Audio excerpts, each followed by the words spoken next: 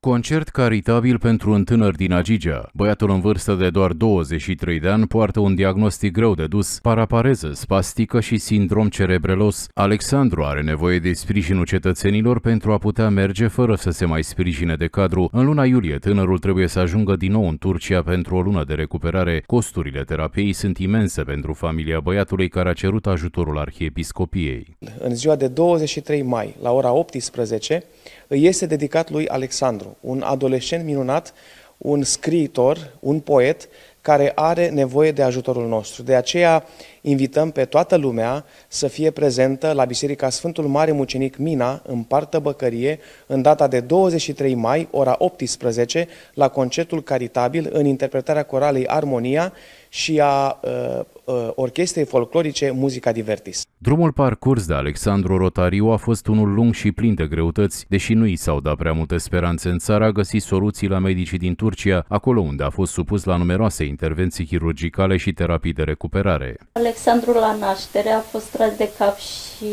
o iat în sistemul locomotor. La 2 ani și 8 luni am aflat diagnosticul care este de parapareză spastică și sindrom cerebellos, gradul grav. Uh, și noi acum trebuie să ajungem în Turcia la recuperări medicale și avem nevoie de suma de 2000 de euro. Cred că Alexandru se va face bine, că așa am primit garanția de acolo, de la medicul fizioterapeut.